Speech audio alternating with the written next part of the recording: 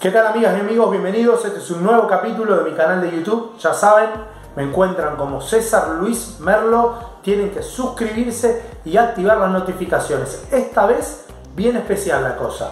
A casi dos meses del 30 de junio, repaso caso por caso qué futbolistas quedan libres o pueden llegar a renovar en los cinco grandes del fútbol argentino. Arranquemos. Comenzamos por San Lorenzo. El 30 de junio tiene cuatro jugadores que vencen contrato. El más importante por nombre es Torrico. La situación básicamente depende del arquero. Si tiene ganas de renovar, como es un ídolo indiscutido del club, renovará. Por lo pronto no ha tomado ninguna decisión. Después está el Tucu Salazar, que en principio hay alguna charla para ver si puede renovar su contrato, pero no está sencilla la situación debido a que el futbolista, antes de extender su vínculo, quiere cobrar una deuda que el club tiene con él y una vez resuelto esto, sentarse a charlar del contrato. Veremos si las partes se ponen de acuerdo en esta situación. Y después están los hermanos Peralta Bauer. Mariano, que según la dirigencia de San Lorenzo, tiene un acuerdo de palabra con su representante hace varios meses, pero todavía no se firmó. Entonces yo no lo daría por cerrado. Y Agustín Peralta Bauer, que termina contrato el 30 de junio y no le van a renovar. Vamos a mudarnos ahora para Avellaneda, empecemos por Independiente. Pablo Hernández, el argentino chileno, no va a seguir. El 30 de junio culmina su contrato, es un contrato muy elevado, Independiente no le va a renovar y por ahora no tiene ofertas concretas según me comentan desde su representación. El otro futbolista que acaba contrato es el arquero suplente, Milton Álvarez. Ya hay un acuerdo de palabra y seguramente en las próximas semanas se va a firmar la extensión de su contrato. Falta definir si es hasta diciembre de 2022 o hasta el mismo mes del 2023. Vamos a Racing. Racing, el único caso que tiene que resolver es el del Chelo Díaz. Hoy a Marcelo Díaz lo veo más afuera que adentro. ¿Por qué?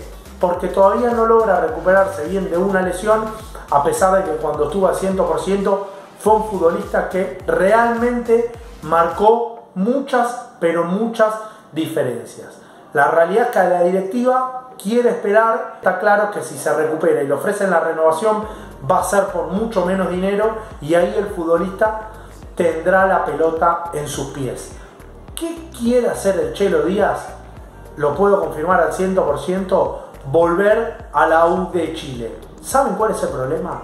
Que la U de Chile, hoy, a principios casi mediados de mayo, no lo llamó todavía. No ha mostrado un interés concreto por un ídolo como Marcelo Díaz que ha jugado muy bien ahí y lo ha catapultado a que sea un jugador muy importante también en la selección trasandina. Vamos a ir ahora a River Plate. El caso más emblemático de Rafael Santos Borré. River intenta renovar bajo todo punto de vista al futbolista, pero el jugador tiene la decisión tomada de quedar libre. O sea que el 30 de junio se va a ir con el pase en su poder. Ustedes todos los días leen que hay un club nuevo que quiera Borré. Yo les voy a confirmar que concreto no hay absolutamente nada. Las únicas dos cosas que hubo concretas por Borré fueron la de Palmeiras y fueron la de Gremio y a último momento el futbolista terminó diciéndoles que no. Hay otros dos casos también de referentes. Javier Pinola acaba contrato el 30 de junio. River quiere extenderle el vínculo, todavía no está arreglado, pero ahí no creo que haya mayores dramas porque el futbolista tiene ganas de continuar. Y el otro es de un emblema, de Leonardo Poncio eso depende pura y exclusivamente de Leonardo Poncio. ¿Por qué? Porque River obviamente quiere que siga, independientemente que no suma muchos minutos en cancha, es el dueño del vestuario, pero todavía no se decidió el futbolista si se retira ahora en junio o lo hace en diciembre. Yo creo, por la información que he podido averiguar, que si River pasa de fase en la Copa Libertadores, probablemente Poncio renueve su contrato por un año, pero con la posibilidad de que en diciembre, cuando termine la Copa, opte por la posibilidad de retirarse. Y vamos al último club, a Boca Juniors. Julio Buffarini. acaba contrato el 30 de junio, hace rato Boca le hizo una propuesta, el jugador la declinó y a pesar de múltiples rumores que hablan de que va a renovar, a día de hoy Boca no le hizo una nueva propuesta y desde el entorno del jugador manifiestan que es un caso cerrado y que se va a ir libre. ¿Qué propuestas concretas tiene? Por ahora ninguna. Emanuel Más se va el 30 de junio, Boca no le ofreció renovar, también sin propuestas concretas. Y Leonardo Jara también vence contrato a mediados de año. Boca no le ofreció renovar. Atención, lo ha sondeado Estudiante de La Plata, tiene buena relación con Verón, pero me cuentan a mí que la prioridad del futbolista es irse al exterior. Y al final dejo el caso por ahí más polémico. Franco Soldano. Franco Soldano vence su préstamo el 30 de junio. Su pase es del Olympiacos se especuló que no se podía hacer un nuevo préstamo, ¿sí? porque ya estuvo dos veces en condición de cedido.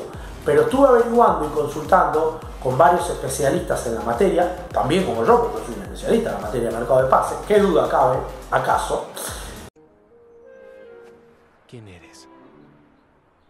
Soy Dios.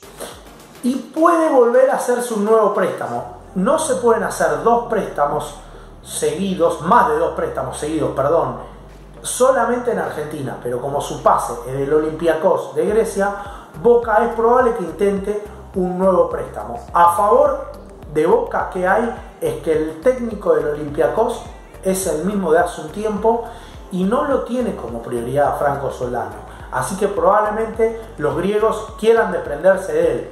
Claro, habrá que ver si están dispuestos nuevamente a cederlo a préstamo o quieren que le compren una parte del pase. En concreto, ¿qué hay? Miguel Russo quiere que siga, el Consejo de Fútbol quiere que siga, Soldano quiere seguir en Boca, pero es cuestión de que Boca, que hasta hoy no pisó al acelerador, se siente y negocie con los griegos. Bueno, este fue un resumen caso por caso y un nuevo capítulo de mi canal de YouTube. Tuvieron información de los cinco grandes, no se pueden quejar. Ya saben, me encuentran como César Luis Merlo, activen las notificaciones, suscríbanse a mi canal. Si les gustó este video, pulgar para arriba, comentarios, se lo reenvían a todos sus amigos y amigas y ya saben, nos vemos en la próxima. Beso para todos y para todas.